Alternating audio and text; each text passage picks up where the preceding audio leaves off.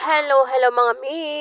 Welcome na naman sa panibagong araw ng buhay ko bilang isang full-time mom. For today's video serye, iwan ng aming long weekend. At sa oras na ito, ako ay nagpapahinga. Siyempre, natulog akets. Dahil umalis si Daday at dalawang bata, si Kuya at si Ate Polly, so dalawa lang kami ni Blaze Blaze ang naiwan.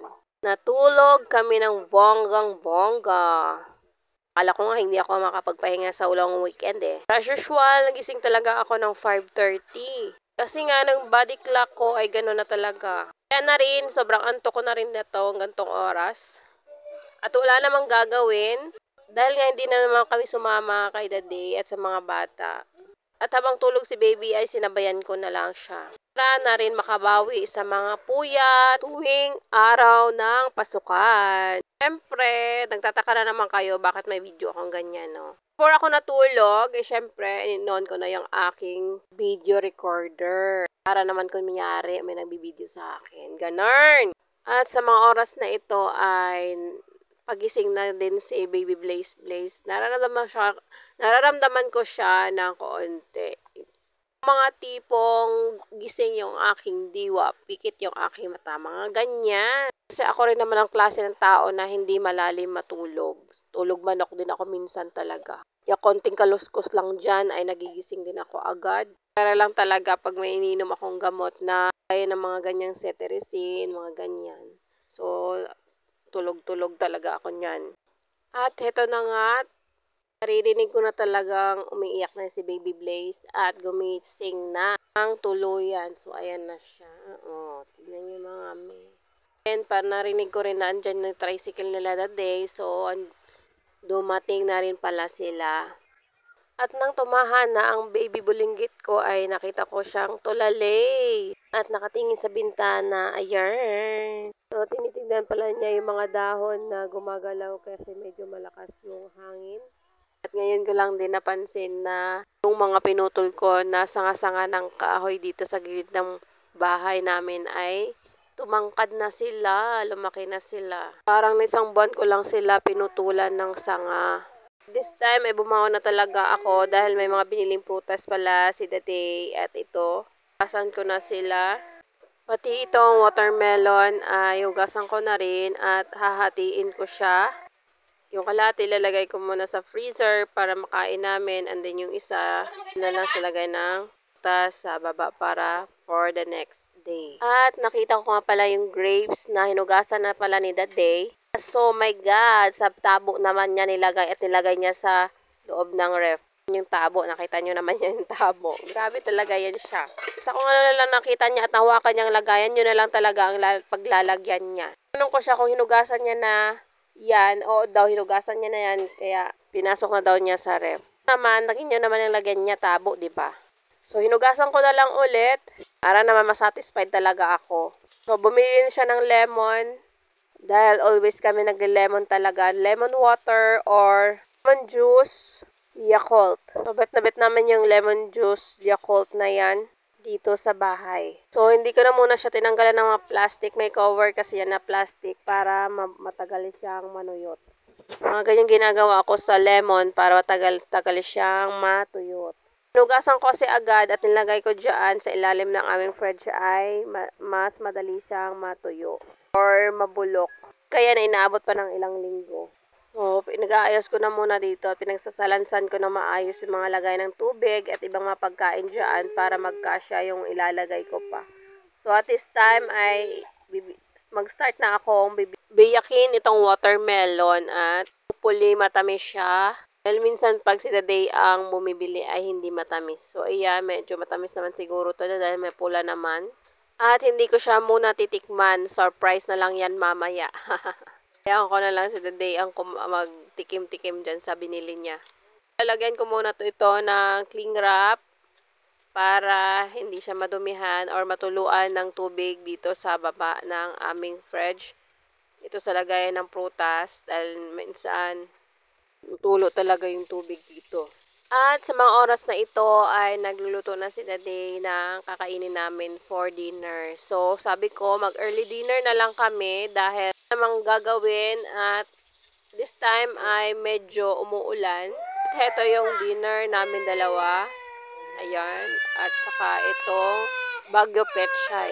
So, no rice kami talaga muna ngayon. LCIF yarn. Yarn. Actually, mga 4 days or 3 days na ako hindi nagra-rice talaga. Kaya nga lang cabbage ngayon at buti na lang bumili sa the day ng itong Baguio, Baguio Pechay. So, ayan na lang yung aking kakainin. And then, itong ulam namin.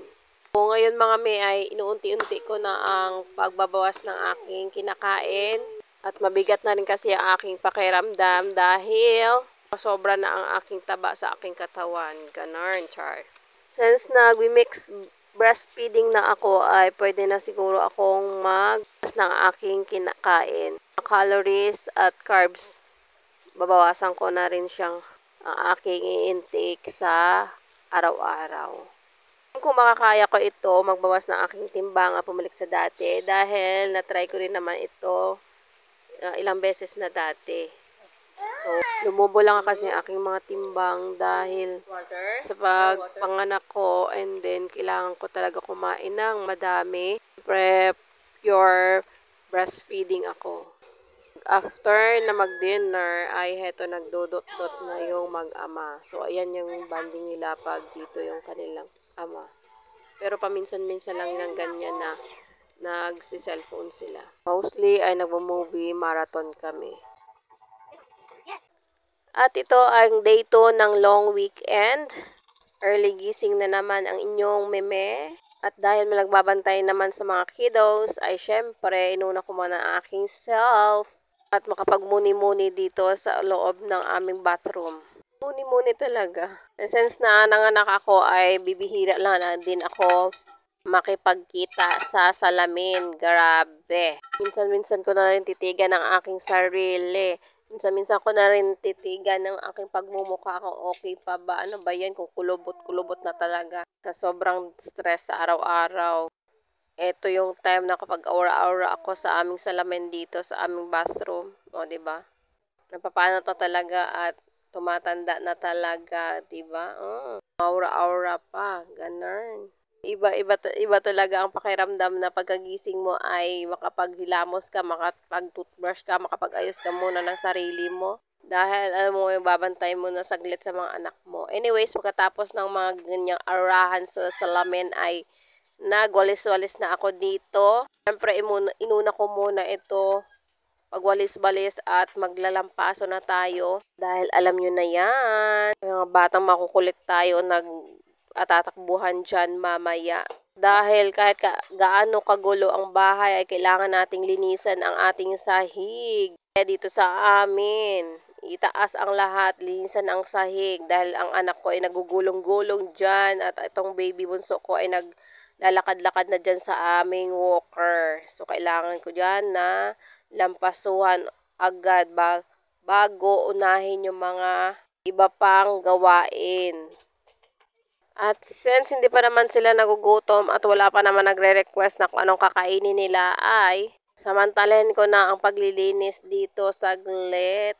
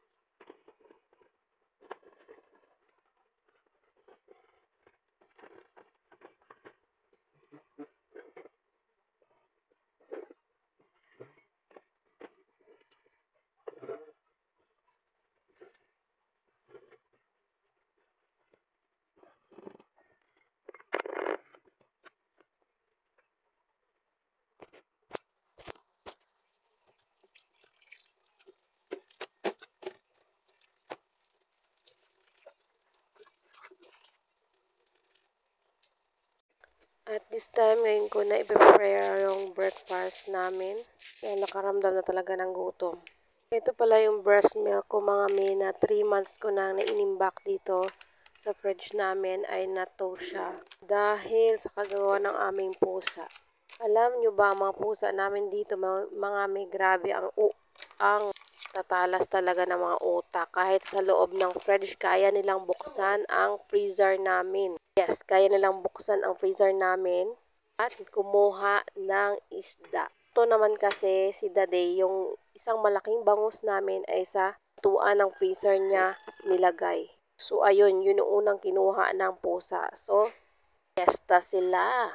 This time ay nag-aantay na yung unang customer ko dahil gugutom na daw ako. Kailangan ko na madali na aking niluluto. At buti na lang ipabulinggit ito ay masayang naglalakad dito. Ayan. Tuwang-tuwa pa siya. Bilis-bilis niya na maglakad. Itong kanyang walker. Tuwang-tuwa siya. At habang nag-aantay yung aking customer, ay ito ako nagluluto na talaga. At inanong ko siya kung willing to wait ba siya. Sagot naman niya ay oo. Oo dahil no choice, di ba? Balik tayo dun sa pusa dito sa bahay. Yung mga may pusa dito sa bahay ay hindi naman talaga alaga namin yan. Ito lang yan sila pumasok dito sa bahay nung maliliit pa lang yan sila. Hanggang ngayon, nang matanda na sila, dito pa rin sila sa bahay. Hindi pa talaga kasi tapos tong bahay namin, kaya mga butas-butas dun sa taas. Second floor namin, kaya dun sila dumaan. Dun talaga sila dumadaan, lalo pag gabi. So, yan na nga, kahit saan mo ilagay yung pagkain, ay kaya nilang yang buksan. Kahit patungan mo pa yan na mabibigat na bagay. Di ba nga, oh, nasa freezer na namin ay kaya nilang buksan yung freezer namin. Maakyat talaga nila sila dito sa taas ng, ng fridge. Sa kanila bubuksan yung part na nasa taas. So, ito yung iluluto ko mga me. Ayan. Hotdog po yan na mabilog. Yan na lang yung mabilis ang luto. Kinote ko siya doon sa natira ko ng nakaraan na sa pagluto ko ng corn dog ni kuya. So, sayang naman pa ang tapon. So, ito na aming breakfast birthday mga me. Ayan. A rice ng dalawang bata at ayan yung ulam. Ito naman kami sa amin ni Dati. So, kain na tayo mga me. Hindi ko pag naisip ko pa rin yung nangyari kanina umaga ay talagang di ako makamove on. Grabe talaga na kaya nilang buksan ang aming fridge. At pag alam nilang may kasalanan sila mga me, alam yung mga pusa namin, wala yan sila dito. Hindi muna sila magpapakita ng ilang araw o isang araw o dalang araw. Lang sila babalik mga ilang araw na. Ganyan talaga sila. Sabi ko para may isip talaga yung mga pusang yan. So that's it for today mga me. Thank you for watching. God bless!